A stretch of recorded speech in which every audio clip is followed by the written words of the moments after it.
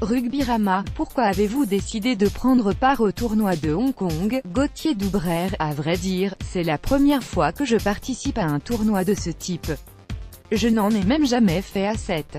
Cela s'est fait par l'intermédiaire du manager de l'équipe, Jérôme Lolo, qui est également mon agent.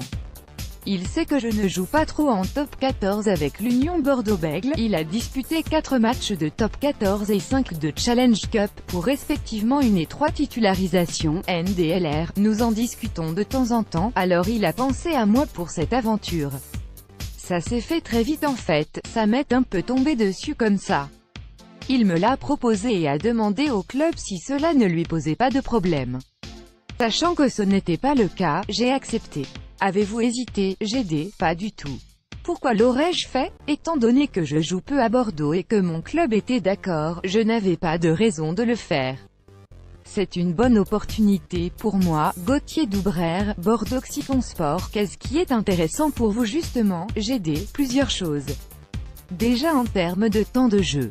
Je suis peu utilisé et ça va me faire du bien de rejouer un peu au rugby, même si ce sera à 10 et non à 15. Je suis très content de ça déjà. Ensuite, je ne suis jamais allé à Hong Kong et je suis très curieux de le découvrir. C'est à l'autre bout du monde et ça peut être très sympathique. De très bons joueurs participent à ce tournoi. Winnie Antonio y avait été repéré par La Rochelle il y a quelques années et des dirigeants, à l'image de votre président Laurent Marty, s'y rendent régulièrement. N'y a-t-il pas aussi l'idée de vous faire voir, GD C'est sûr que cela peut être une vitrine intéressante pour un joueur. C'est un tournoi qui est assez réputé et assez suivi.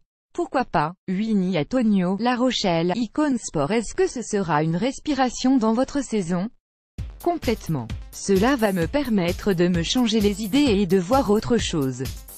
Passer des mois sans jouer, c'est dur à gérer et c'est vrai que ça peut me donner un deuxième souffle. J'espère jouer au maximum. En plus, je connais pas mal de joueurs qui vont partir avec nous alors ça devrait bien se passer.